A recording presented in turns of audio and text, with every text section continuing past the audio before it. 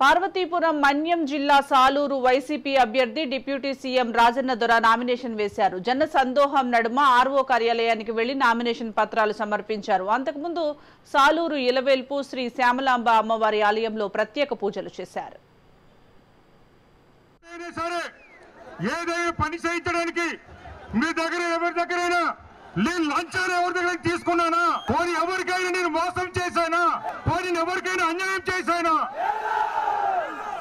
తెలుగుదేశం వాళ్ళు నా మీద లేనిపోని చెప్పచ్చు. చెప్పొచ్చు మీకు ఒక్కడే చెప్తున్నాను మీ రాజను ద్వారా ఎప్పుడైనా ఎక్కడైనా తప్పు చేస్తుంటే నన్ను ఇక్కడ నిలబెట్టవచ్చు మీరు. చెప్తున్నాను కొంతమంది మా వయసులు ఉన్నారు మా వ్యాపారులు ఉన్నారు మా వర్తకులు ఉన్నారు. మీ అందరి కోసం మీకోసం ఈ నడి రోడ్డు కూడా కొట్టకుండా ప్రభుత్వం కేంద్ర ప్రభుత్వం నుంచి బైపాస్ తీసుకొచ్చాను. అలాగే ఉద్యోగులకు కూడా ఏ ఉద్యోగి నా దగ్గరికి వచ్చినా సరే ఎప్పుడు వచ్చినా సరే ప్రేమతో అభిమానంతో ఒక స్నేహితుడిగా వాళ్ళు మంచి పనులు చేసేది తప్ప ఎవరికి కూడా ఎప్పుడు కూడా అన్యాయం చేయలేదు. ఎప్పుడైనా సరే ఏదైనా